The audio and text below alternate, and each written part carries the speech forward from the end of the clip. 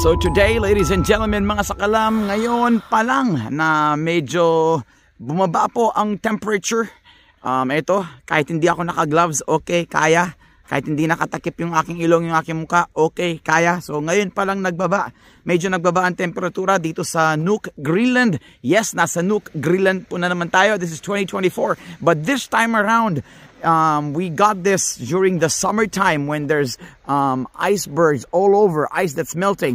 This time it's different. This time you are gonna see what it looks like here in Nuuk when it's all covered with beautiful white snow. So enjoy the video. Click on the subscribe button if you're watching this on YouTube. Click on the follow button and please like and comment if you're watching this on Facebook. Ladies and gentlemen, this is Sakalam and this is wintertime here in Nuuk. Whew, malamig pa rin. Yan. Enjoy na lang po yung um, aerial footage natin. This is Nuuk covered in snow.